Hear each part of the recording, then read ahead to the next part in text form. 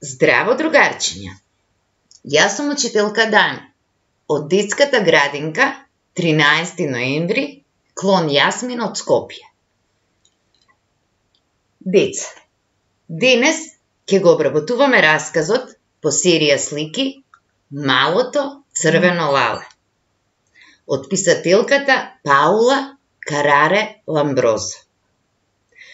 Но пред да почнеме, сакам малку да поразговараме за годишните времења. Деца, кое годишно време сме сега? Точно, пролет. Пролетта ни пристигна.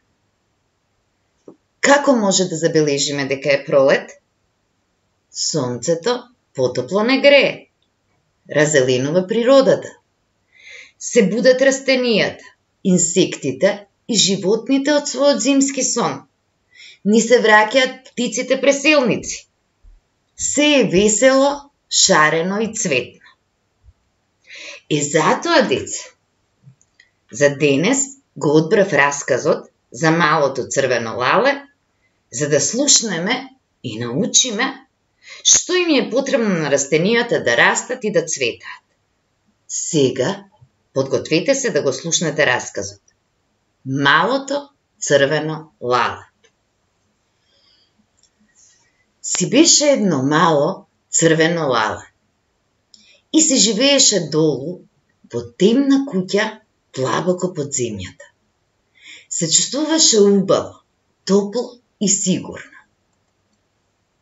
еден ден, додека си седеше долу, одеднаш слушна чукање на прозорецот. Чук, чук, чук. Кој е тоа? праша лалето. Јас сум дождот и сакам да влезам натре, одговори нежен, тажен и тивок глас. Не, не може да влезеш натре, одговори малото црвено лале. Помина неколку денови. Лалето се спиеше во својата кукичка и повторно слушна чукање на прозорецот. Кој е таму? праша лалето.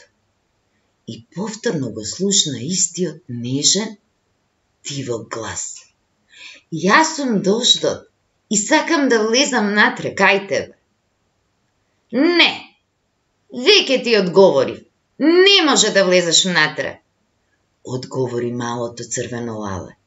И остана сосема мирно да си спие под земјата во својата куќичка.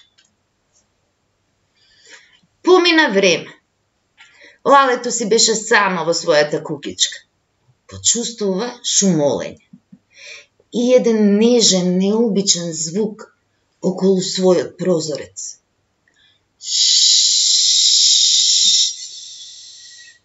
Се слушаше нежност шумолење кај прозорецот. Кој е таму? праша малото црвено лале. Јас сум сонцето, рече весел, јасен и нежен глас. Сакам да влезам натре. Пушти ме те молам. Не, не, Не, не може да влезеш, одговори малото лале. Не помина многу време, малото црвено лале повторно слушна нежно шумолење, но сега околу клучалката на вратата. Кој е таму? праша лалето. Јас сум, јас сум сонцето, се слушна весел и нежен глас. Пушти ме да влезам. Сакам да влезам натре.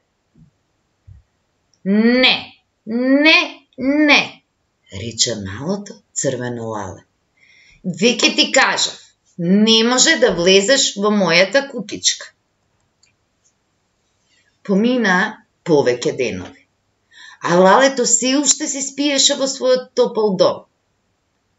И одеднаш слушна. Чук, чук, чук и звукот доаѓаше од сите страни на куќата. Околу прозорецот, клучалката, вратата, се слушаше нежно шумолење и чукање. Кој е таму? праша малото Лале. Јас сум дождот. И јас сум тука сонцето. Дождот и сонцето, рекоа двата гласа заедно. И ние сакаме да влеземе внатре. Сакаме да влеземе внатре. Сакаме да влеземе внатре. Одговорија заедно во еден глас. Добро, добро, рече малото Лале. Ако сте заедно, сигурно е време да ви отворам. Може да влезете внатре. И така деца Лалето ја отвори вратата и тие влегоа внатре во неговата куќичка. Потоа дождот го фати Лалето за едната рака, а сонцето го фати Лалето за другата рака. И тие бргу, бргу, бргу го повлекоа Лалето горе со себе. Кога го дигнаа горе, му рекоа на Лалето. Протни ја твојата глава над земјата. Малото црвено лале ја протна главата над земјата и се најде сред една чудесна градина. Се уште беше рана пролет и немаше други цвекиња во градината. Лалето расцвета. Му се израдува тревата, го поздравија птиците, а сонцето го галеше по неговото убаво црвено главче. Се израдуваа сите, а малото црвено лале радосно ја поздрави пролет.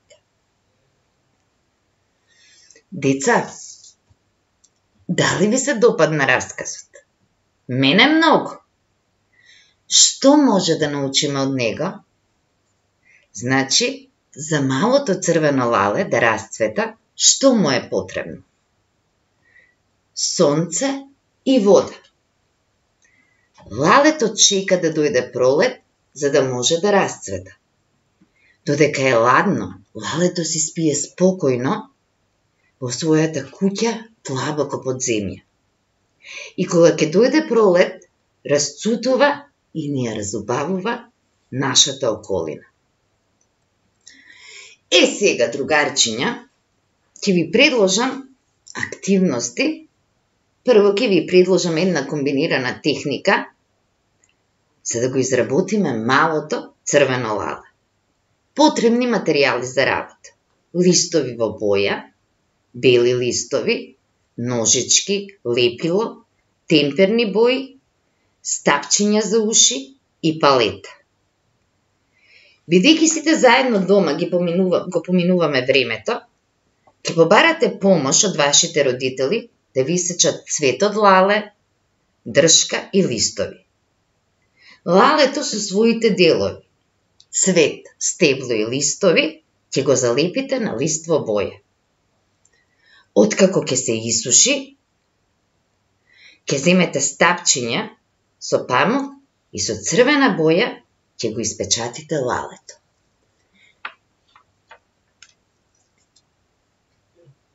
Еве, уште една интересна техника. Печатење со природен материјал. За оваа активност потребни ви се темперни бои, компир, нож и лист од блок. Исто така, ќе побарате помош од вашите родители. Од компирот да исечат модел на лале, И со темперни бои ќе си го испечатите лалето на лист од блок. Со зелена боја може да го нацртате стебленцето и листовите и ќе добиете прекрасен цртеж со лали. Се надевам дека се забавувавме. Се забавував и јас и научивме нешто ново. Сега ве поздравувам и ве замолувам слушајте ги препораките. Останете дома. Само така може да останеме здрави. Поздрав до мојата група Медени мечиња. Се најдобро!